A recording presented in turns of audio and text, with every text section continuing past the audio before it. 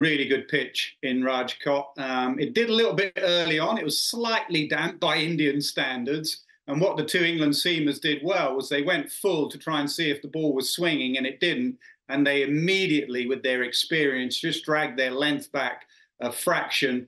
Uh, and Jaiswal nicked Wood, and then Shubman Gill got an absolute beauty from Mark Wood. These are two lads that have got double hundred and and 100 already in the series, so we're in decent form.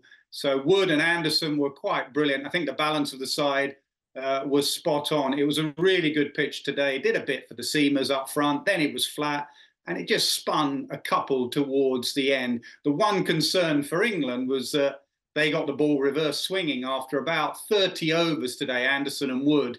Um, and with Bumrah in the opposition and what we saw in the last game when it reverse swings and he got six for, that could be a threat as the game progresses. But at the moment, it's a very good surface. Well, I thought the wicket tonight was vital because Sarfaraz Khan came in on debut. Now, he would have been in at 40 for four if Root had taken that catch. As it was, he came in at 250 for four on debut, which is a much better position to come in. And he got a run a ball 60, was playing brilliantly. And you could see from Rohit Sharma's reaction when that run out happened, when Jadeja was looking for his 100, that he realized A, he wanted his young debutant to go on and get 100 tomorrow, but also the rate Sarfaraz scores might buy you time to win this game on a good pitch. You know, there's been some draws there.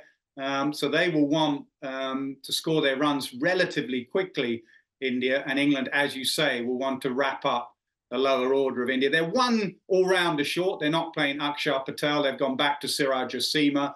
So there is an opportunity for England tomorrow morning, but they're going to have to bowl India out for less than 400. And in an era where Test match cricket is being hit hard and people are questioning Test match cricket, it's great to have an England captain that absolutely loves the format and will do anything to push the format and push his side um, forward, which he's done with this England side. So a brilliant achievement from Stokes. Uh, long may it continue. His knees better. He's back bowling, not in a match, but in the nets so hopefully he can go back to being that wonderful all-rounder uh, that we've seen over the years. But the most important thing for Stokes is, um, he, you know, the stats are one thing, but he, he revels in pressure. He revels the situation. He's always up for the fight. He's always there when you need him, whether it be Headingley or Lords or in World Cup finals.